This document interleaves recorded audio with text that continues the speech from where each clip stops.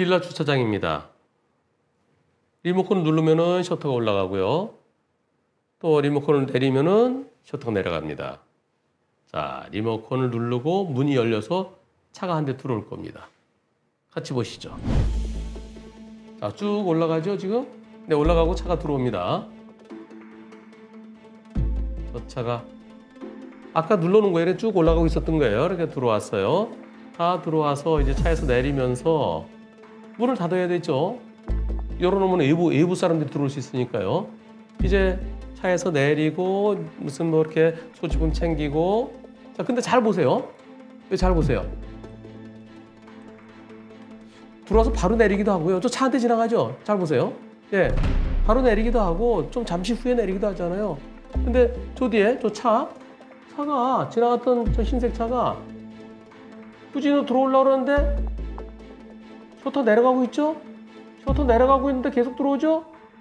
에이쿠 셔터가 내려오다가 차를 딱 꼈습니다. 다시 나갔어요. 네.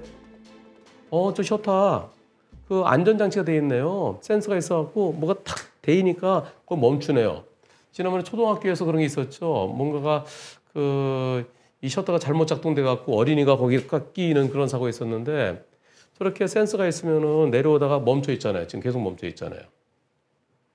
후진하다가 저 차가 셔터에 껴갖고 수리비가 430만 원 나왔대요.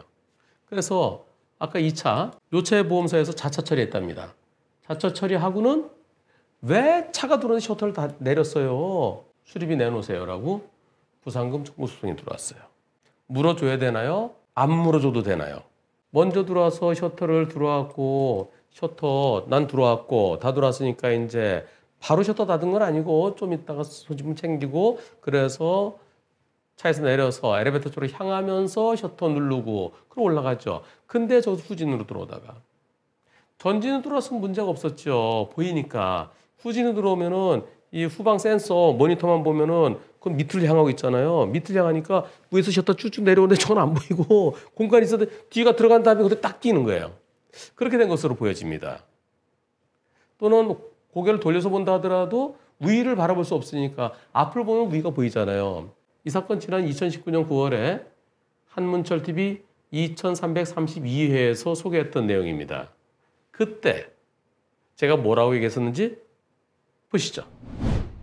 이 차의 보험사, 이 차를 자차 보험으로 처리했대요. 그리고 자차 보험 처리하고 그 보험사가 앞에 차, 이 차의 보험사다가 차가 들어오는데 왜 문을 내리, 셔터를 내렸느냐. 당신이 100% 책임져라 라고 부상금 청구 소송이 들어왔답니다. 그 소송의 결과 어떻게 될까요? 제가 걱정하지 마십시오. 보험사가 집니다.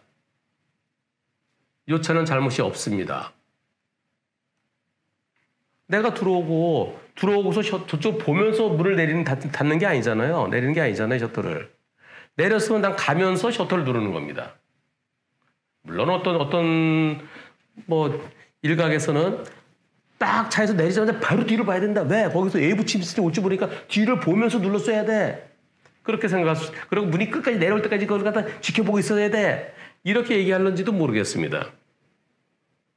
그런 일반적으로는 차에서 내려서 내가 들어온 다음에 셔터를 셔터를 누르고 차에서 내릴 수도 있고요. 차에서 내려서 뒤쪽을 한번 보면서 셔터 누르고 다운 다운으로 누르고 그리고 엘리베이터로 가죠. 들어오는 차가 알아서 셔터가 열려 있는 것을 혹시 보니까 스톱시키고 중지 중지시키고 그 다시 위로 올리고 그래 들어왔어야 돼요. 게다가 셔터가 먼저 내려오고 있었습니다. 내려오는데 들어왔어요. 저는 이 사건 이쪽 차의 100% 잘못이라고 생각합니다. 이 차는 잘못이 없다는 의견인데요. 과연 법원에서는 어떻게 판결할까요? 네, 제가 저 차, 저기서 후진으로 들어오는 차 100% 잘못이라고 그렇게 설명했습니다. 결과 어떻게 나왔을까요? 그 결과 소개하겠습니다. 서울중앙지방법원 판결 사건 번호는 가렸어요. 그리고 보험사랑 그다음 피고, 피고 개인한테 소송을 했는데요. 어? 근데 왜 피고 개인한테 소송했을까요? 아, 보험 미가입 차인가요? 왜 그랬을까요? 아, 자동차 사고가 아니구나. 맞네, 맞네, 맞네. 차대차 사고가 아니고요. 차에서 내린 다음에 리모컨 누른 거니까 음 그렇네. 그러니까 개인한테 리모컨을 그 차가 들어오는 것을 그 조심했어야 되는데 왜 차가 들어오는 걸 확인하지 않고 리모컨 누르느냐? 아 그러니까 개인한테 소송한 거네요. 제가 순간적으로 착각했네요. 네 그렇네요. 개인을 상대로 소송했습니다. 주문. 주문이라는 것은 그 사건의 결론을 말하는 겁니다. 1. 원고의 청구를 기각한다. 2. 소송 비용은 원고의 부담으로 한다. 결국 보험사가 졌어요. 제가 보험사 100% 진다 그랬죠. 왜 보험사가 졌을까요? 판결 이유 보시겠습니다. 셔터문이 열려 있다 하더라도 이미 주차장에 진입한 차량의 운전자 등에 의해서 언제든지 셔터문이 닫힐 수 있으니까 그러니까 거기 들어오려고 그러면 셔터문을 딱 다시 스톱시키고 그 다시 올려야 된다. 본인이 다시 열었어야 된다. 언제든 내려올 수 있으니까. 그다음 두 번째, 그 흰색 차는 후진으로 들어오면서 셔터문 내려오는 걸 제대로 확인하지 못했다. 앞으로 들어왔으면 보였을 텐데. 세 번째, 그 차가 지나갔어요.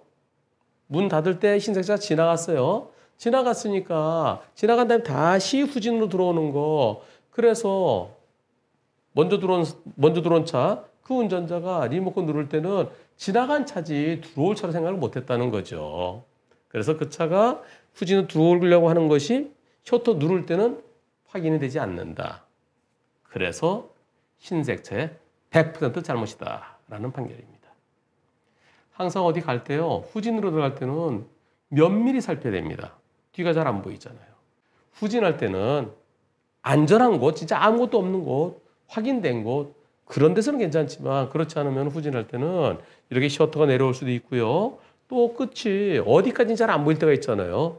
스토퍼 더 이상 가 밖에 딱 걸리는 거 그런 게 아니면 잘 자칫하면 뒤로 훌러덩 떨어지는 경우도 있고요. 또 후진하다가 뒤쪽에 어린아이들이 뒤쪽으로 와서 지나가는데 안 보이는 경우도 있습니다.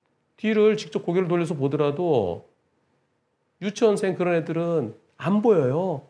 어른은 보이지만 그래서 후진할 때는 누군가 뒤에서 좀 봐줘야 돼요. 혼자 후진할 때는 직접 내려서 뒤를 확인하고 그리고서 안전할 때 후진한다든가 그게 제일 좋고요.